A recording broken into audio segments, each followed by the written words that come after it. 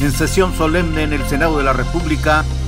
le fue entregada la medalla Belisario Domínguez a la bióloga Julia Carabias por sus aportaciones en la defensa de la ecología, su compromiso con las causas ambientales del país y su labor en divulgación científica. Julia Carabias dijo que a pesar del avance en la lucha por el cuidado ambiental, no surge un cabal estado de derecho porque el deterioro ambiental avanza. La doctora se pronunció también por abrir un debate profundo e incluyente en torno a la ley de seguridad interior. Consideró de gran importancia que se lleve a cabo ese debate que permite encontrar una salida que reconozca la labor realizada por las Fuerzas Armadas, intente recuperar la seguridad y revertir la espiral de violencia en el país, así como incluya la Procuración Civil de Justicia para fortalecer la democracia, la seguridad pública y el Estado de Derecho, todo ello en concordancia con lo establecido por la Constitución.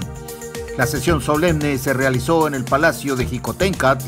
sede del Senado mexicano con la participación de representantes de los tres poderes de la nación, a la que asistió el presidente de México, Enrique Peña Nieto. Soy Daniel Flores Meneses y esta fue mi crónica.